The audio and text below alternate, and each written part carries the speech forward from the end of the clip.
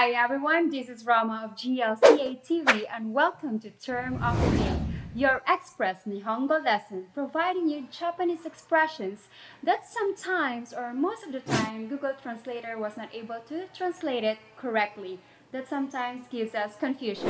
So if you are planning to work in Japan or in any Japanese company just like me, these episodes might be very useful to you.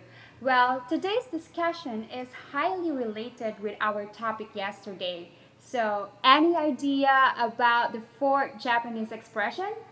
So, yesterday we discussed itadakimasu, which is about before meal. And for now, we have gochisousama deshita for after meal. Hmm, I'm full. So good.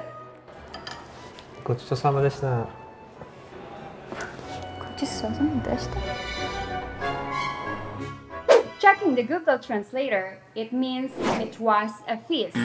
But this simply means thank you for the meal or that was delicious. After filling their stomachs, Japanese people thank those people who prepared, cooked, and served the food by saying gochisousama deshita. And let's also have other situations, like for example, um, joking around with a friend who had a big sale. You can say gochisousama desu, like asking for an advance treat.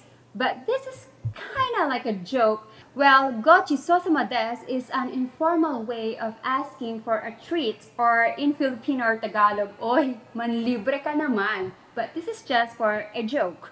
Um, another situation is that when after your boss treated you for a free meal and before separating ways, so you can say gochisousama deshita to your boss